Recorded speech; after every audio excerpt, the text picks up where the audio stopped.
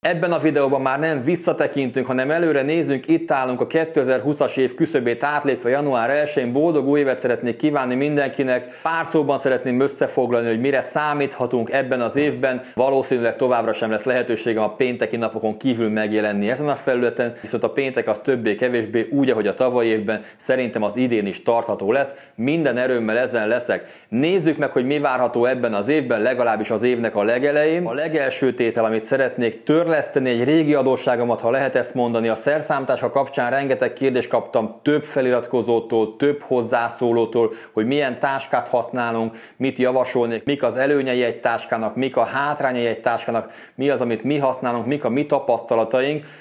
Nem összetévesztendő a szerszámtáska tartalmáról készült videóval ennek a videónak a témája, ez lesz január legelső témája, azt követően készítünk majd egy leválasztást, egy betonépületben egy favázas falat fogunk készíteni, ez is gyakran felmerülő kérdés volt, hogy hogyan lehet kombinálni a beton vagy téglafalat a hagyományos favázzal. Ennek is eleget teszünk, azt követően belevágunk a mérőszalag kérdésbe. A mérőszalagok kapcsán kaptam kérdést a tavalyi év végén kétszer-háromszor legalább, hogy milyen mérőszalagot érdemes venni. A mérőszalagnál mit kell szem előtt tartani vásárláskor, meg tudjuk nézni a Milwaukee-nak a legújabb mérőeszközét, nem a Milwaukee volt ilyen nagyvonalú, egy kedves barátomtól kaptam ajándékba, amit szeretnék megköszönni ismételten ez alkalommal, és rengeteg kérdést kaptam további szerszámok kapcsán, olyan szerszámok kapcsán, amelyeket látni lehetett a tóparti házépítő sorozatban, a nagy szögbelövő, a marok szögbelövő, különféle hevederek, egyéb szerszámok, amelyek még nem szerepeltek videókban, ebből szeretnék mindenképpen egy vagy kettő részt összehozni, csak a legérdekesebbekből nyilván. Időközben Budán megcsináltunk még egy munkát,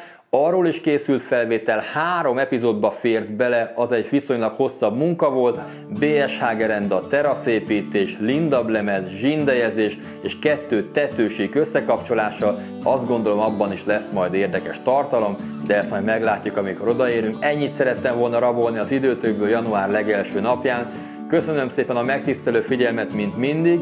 Pénteken érkezem a következő résszel. Boldog új évet kívánok mindenkinek. Sziasztok!